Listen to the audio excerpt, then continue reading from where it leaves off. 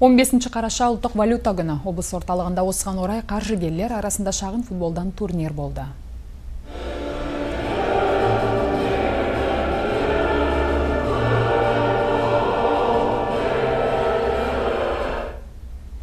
Осымен үшінші жыл қатарынан ұйымдастырылған турнирге облыстағы қаржы мекемелерінен барлығы алты команда қатысты. Командалар екі топқа бөлініп, жарыс көрігін қыздырды.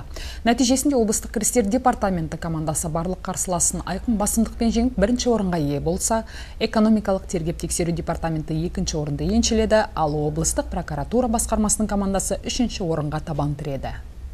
Бұл футбол спорт түрі жастарды, жеткіншектерді аса ыждағаттылыққа тактикалық шеберлікке физиологиялық өзінің дамуына үлкен жол бастайтын спорттың түрі.